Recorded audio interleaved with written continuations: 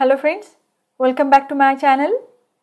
Today we are going to learn about how we can implement normal distribution in DAX. Okay, so normal distribution is part of our inferential statistics. Before moving to Power BI, we should know a little bit about this normal distribution. Okay, as I have already told you that this is part of inferential statistics. In my earlier videos, we learn about descriptive statistics and this is inferential statistics. Now what is distribution? In simple terms, a distribution is a function that represents the possible values occurrence of a variable. Okay.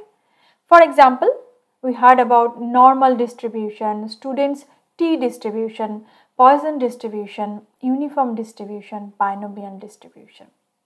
Now what is normal distribution? So normal distribution is one of the most common distribution. It known as bell curve or Gaussian distribution. Some examples of normal distributions are stock market data, some biological measures data like uh, height, blood pressure, etc. Now for normal distribution, there are two functions. One is norm.dist and another is norm.inv. Before moving to Power BI, let us understand the syntax of this norm.dist function. It has four parameters x, min, x, what is x? The value which will be used for distribution. Mean is the distribution's mean. That means it's a average of these distributed values. Standard deviation that is also standard deviation of these distributed values and cumulative means it's a logical value true or false. If cumulative is true then normal distribution returns the cumulative distribution. If it is false then the probability density function. Okay. Now this is a norm.inv. Okay. So it has also some basic syntax probability, mean and standard deviation. Here probability is corresponding to the normal distribution and mean is the arithmetic mean of the distribution and standard deviation of this distribution. Now we are moving to Power BI. Now we are in Power BI. Let us understand how we can implement these functions. First I have created one simple table that is student score. How I have created that? I have used this generate series function where 0 to 100 I am populating the data. Within the data difference is 1. Let us move to use of normdist function.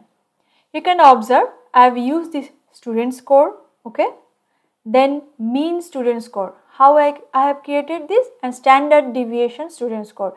In my previous video we have already uh, know about this how we can calculate the mean value and standard deviation value. So I have used that function. Let me show you. Uh, this is the mean student score. Here I have used the average x and this all function and this uh, this is the table and this is the student score. Okay. Let me show you the standard deviation. Here also I have used that standard STVX and P, P for population data and all function. This is the students uh, table name and this is the value. Okay. So in this way i have created this mean and standard deviation. Now i am going back to this norm dist. okay.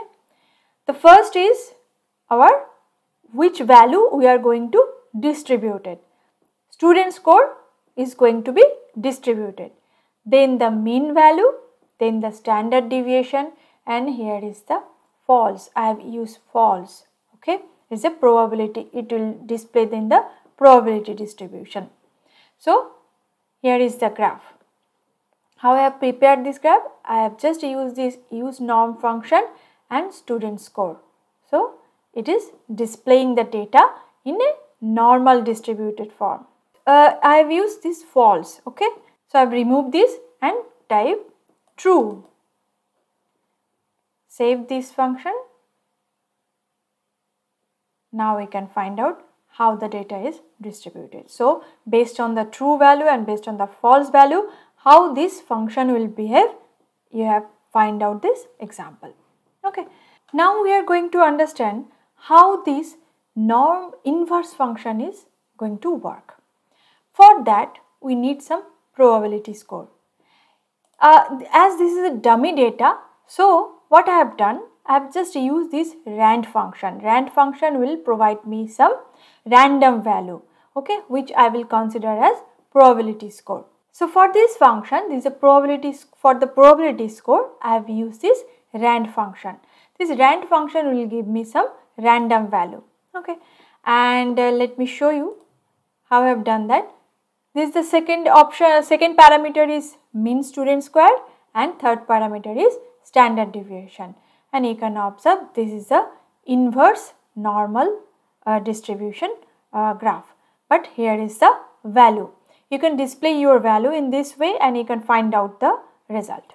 So in this video you get some idea about what is normal distribution and how we can use this norm dist function and norm INV function in Power BI.